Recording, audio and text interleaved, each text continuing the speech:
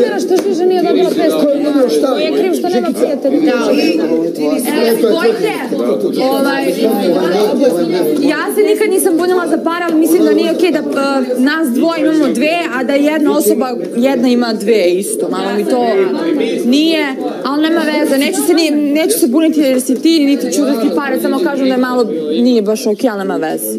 Ja znam, brate, ja ono nisam okej. Ja, ja ne Ne ti, nego kako se raspodelili pare.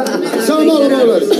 Ja znam da si ti čovjek duhovnik, da gledaš tu sve duhovno, ja to znam. Ja ovo što znam tebe, ti ćeš, ti znači život shvataš